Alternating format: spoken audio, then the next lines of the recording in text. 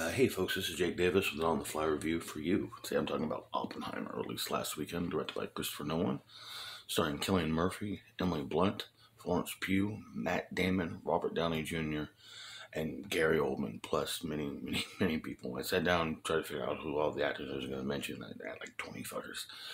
I'm going to try to get this uh, video quickly and quietly. It's early in the morning, and I don't want to wake up the whole house. Plus, my goddamn stand is broken, so I got to hold my phone.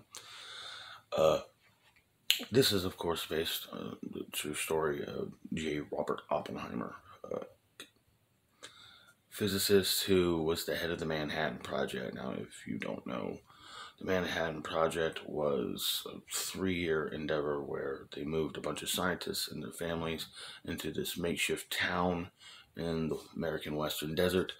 And they spent years out there trying to harness and perfect the nuclear bomb.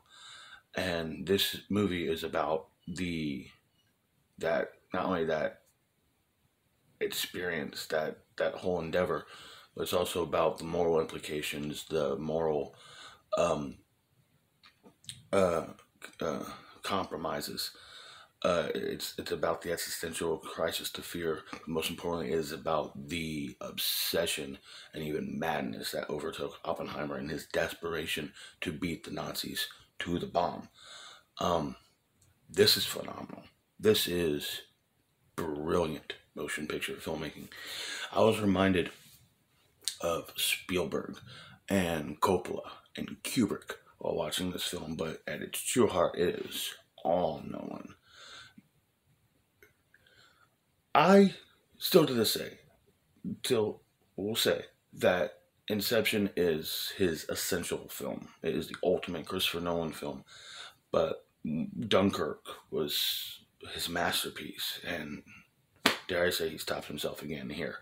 Oppenheimer is a must-see motion picture, and it is just a showing time of the now irrelevance, if not decay, uh, that once was the Academy Awards. That now with their freedom riders and their, you know, their uh, minority quotas, it is absurd that the clearly, obviously, best motion picture of the year so far, hands down, is not eligible for best picture because there's just not enough, you know, there's not enough checks made. You know, they're trying too hard to make a good movie, and Cillian Murphy who who's gone from an actor I've always liked, thought was phenomenal in 28 Days Later, um, goes from perpetual supporting actor to what a fucking leading man in this a real movie star performance performance of the ages always with that that spark of